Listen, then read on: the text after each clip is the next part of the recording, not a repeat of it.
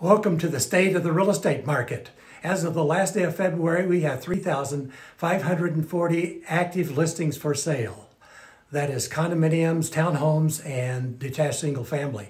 That's a 15% drop since the last day of January when we had 4,165 homes uh, actively for sale. And remember, in March of 2022, we had 4,200 actively for sale.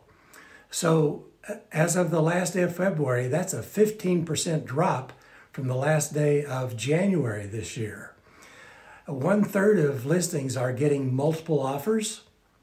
And a statistician told me this week that we could be in a low inventory mode for another four to five years. I certainly hope that is not true. The average price of a, home today in Denver is $654,845. Uh, on a good note, something that is coming back into fashion today is the old fashioned bridge loan. Uh, that is where a homeowner can get a bridge loan on the equity in their current residence so that they can go out and buy another home uh, without having had to have sold their current house at the time. I'll see you soon.